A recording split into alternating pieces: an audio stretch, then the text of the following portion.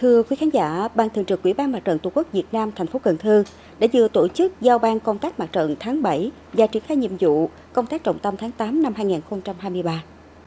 Trong tháng 7 năm nay, Ban Thường trực Ủy ban Mặt trận Tổ quốc Việt Nam các quận huyện tuyên truyền vận động đoàn viên hội viên và nhân dân tích cực tham gia các phong trào thi đua, các cuộc vận động. Qua đó, nhân dân hiến đất qua màu trên 23.800 m2, sửa chữa nâng cấp 4 cây cầu và hơn 5 km đường giao thông nông thôn, trồng 6.000 cây hoa kiển gian đường, xây dựng tuyến đường giao thông, tuyến đường sáng xanh sạch đẹp với tổng kinh phí 14 tỷ 760 triệu đồng. Trong tháng 7, Quỹ vì người nghèo mặt trận Tổ quốc Việt Nam thành phố vận động được hơn 56 tỷ 340 triệu đồng, đã tổ chức triển khai xây dựng 42 căn nhà đại đoàn kết cho người nghèo với tổng kinh phí hơn 2 tỷ đồng.